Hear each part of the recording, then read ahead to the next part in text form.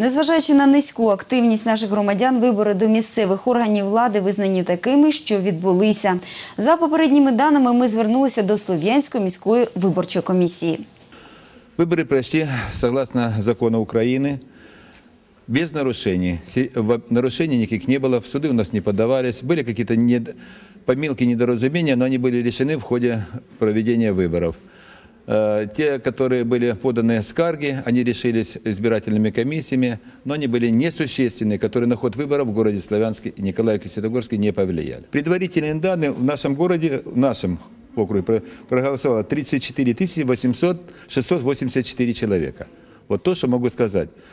Да, явно победила партия регионов, да, явно победила Нина Игоревна Штеп, Штепа. Вот.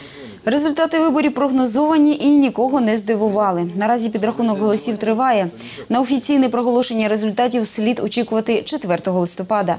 Отже, у Слов'янську вибори відбулися без ексцесів, зауважень порушень, що їх мали побачити спостерігачі та довірені особи. Хоча окремі недоліки все ж таки були, їх помітили наші кореспонденти. Вибори відбулися. Не дивлячись на те, що лише третина виборців взяла участь у виборах, оскаржити результати охочих не знайшлося. На кількість бажаючих прийти до виборчих дільниць частково вплинули такі запрошення. Бачити години роботи дільниці. Багато людей так і подумали, що дільниці працюють до 17 або 18 години. І досі так вважають.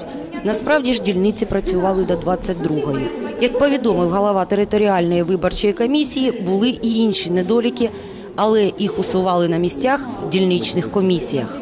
Їх помітили і наші знімальні групи, які працювали на дільницях. Наприклад, чи можна не звертати увагу на те, що дехто з виборців не змогли знайти свої прізвища у списках, або недолікам вважати відсутність тепла і недостатньо світла на окремих дільницях.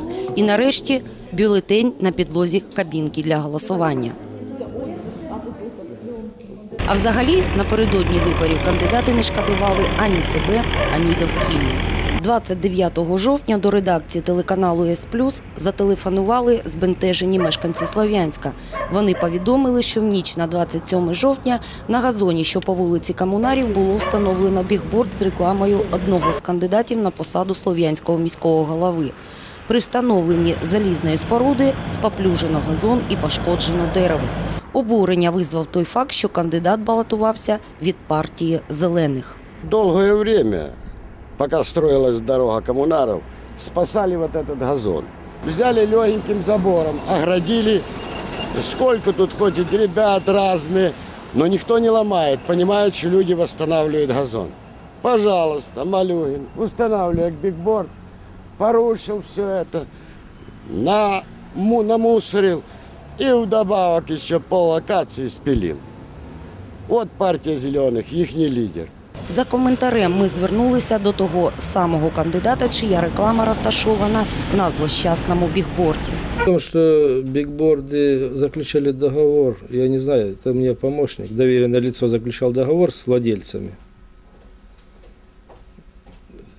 Надо к ним обратиться, к владельцу бигборда.